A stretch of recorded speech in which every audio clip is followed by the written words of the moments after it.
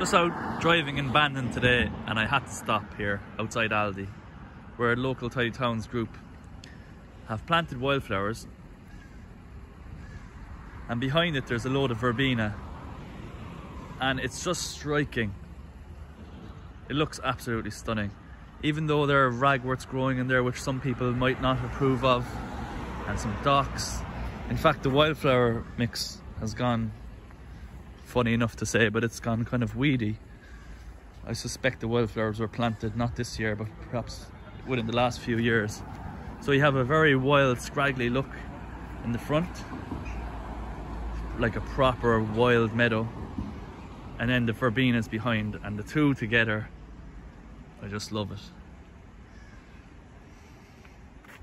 I think it's gorgeous. It shows what can be attained if you have wildness properly embraced and bring it into formal setting. The verbenas are very much a formal garden plant behind. I don't know if this is by accident or design, but it's a great credit to whoever put it here. I'm certainly a fan.